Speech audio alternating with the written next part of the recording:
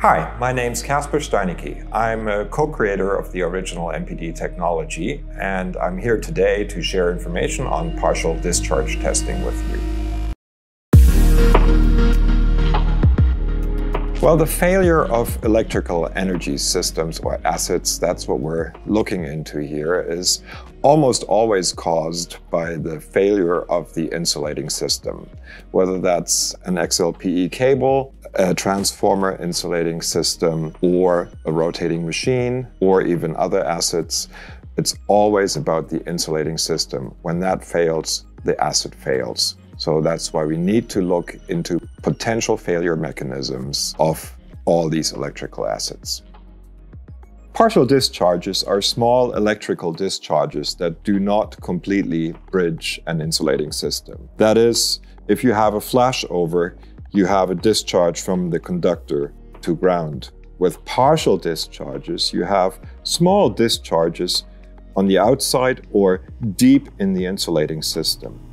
And these discharges can be quite destructive on a very small scale and then widen into major damage over time.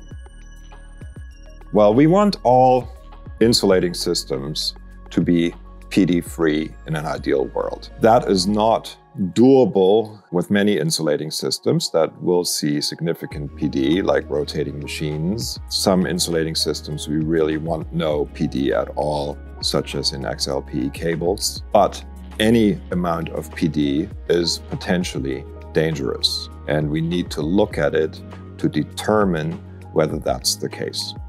Well, when we're looking at insulating systems, Again, those are the chief culprit in any failure of major electrical energy assets, there are actually very few indicators that would indicate future failure. So we can look at integral indicators like tan delta that would indicate aging over time, but they will not give us individual points of failure. And PD is one of the very few ways of looking into an insulating system in order to prevent future failure.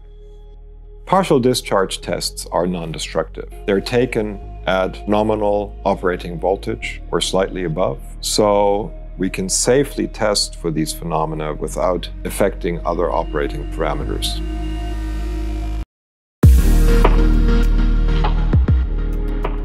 I hope this information was of interest to you. Omicron has over 20 years of experience in partial discharge testing, and we'd be pleased to work with you in this area.